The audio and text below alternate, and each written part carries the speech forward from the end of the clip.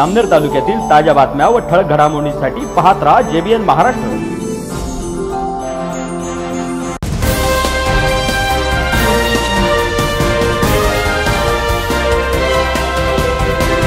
नमस्कार मी विनल चौधरी. पाहूया काही ठळक वृत्त. जामनेर तालुक्यातील भागदारा या गावी अतिवृष्टीमध्ये झालेल्या शेतातील नुकसानीचे पंचनामे. कृषी अधिकारी कन्हैया महाजन तलाठी किरण झायले मॅडम. व ग्रामसेवक एम डी वरपे यांच्या उपस्थितीत करण्यात येऊन मका ज्वारी कपाशी सोयाबीन या पिकांचे शंभर टक्के नुकसान दर्शविले आहे. या प्रसंगी सरपंच ग्रामपंचायत सदस्य प्रल्हाद सावळकर नाना पाटील भास्कर साबळे अशोक शेळके यशवंत सुरवाळे आदी उपस्थित होते.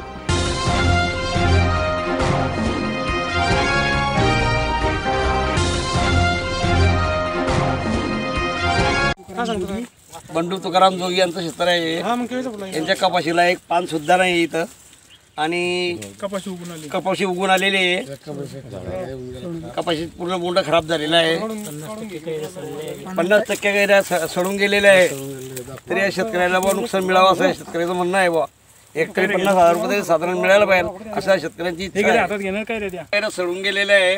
बोंड बारीक झालेले आहे. झाडांना पाणी नाही आहेत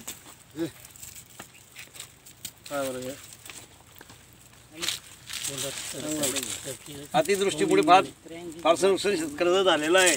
त्यामुळे शेतकरी वर्ग सर्व नाराज आहे.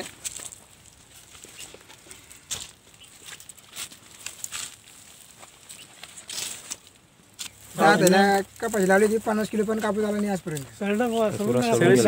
झाडावर उगूनच गेले ते कापूस डायरेक्ट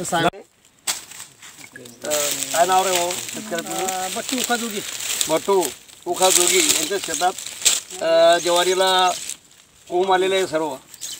कारण काय म्हणणं तुझं नुकसान भरपाई बद्दल पाहिजे बाबा काहीतरी नुकसान भरपाई तर मी मिळालीच पाहिजे ना. शंभर टक्के ज्वारी. तुझी खराब झालेली आहे. एक ट्रिप पन्नास रुपये मिळाले पाहिजे बा त्यांचं म्हणणं आहे आम्हाला नुकसान भरपाई हेक्टरी पन्नास हजार रुपये मिळायला पाहिजे.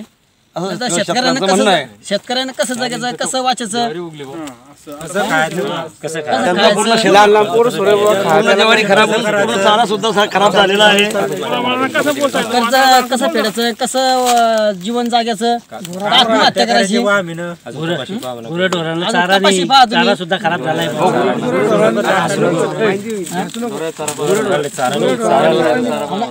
अजून हे पहा बरं साहेब आहे का डोराला खायला तरी चारा आहे का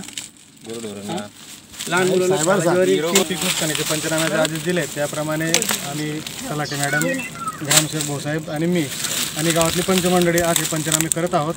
तर खरं खरंच शेतीचं भरभर नुकसान झालेलं आहे पीक पाण्याचं. आता हे आपण बघू शकतात. ही ज्वारीची यांनी काढणी केलेली होती. पण अवकाळी पावसामुळे सर्व ज्वारी आपल्या याच्यावर टाकलेली असताना सुद्धा त्यांच्या अडीच्यावर टाकलेली असताना सुद्धा उगून आलेली आहे. त्यांचं जवळपास शंभर टक्के नुकसान झालेलं आहे. शासनाने त्याच प्रकारे आम्हाला आदेश दिले त्याप्रमाणे आम्ही कार्यवाही करतोय. पुन्हा भेटू. तोपर्यंत पाहत रहा. JBN Maharashtra news. नमस्कार.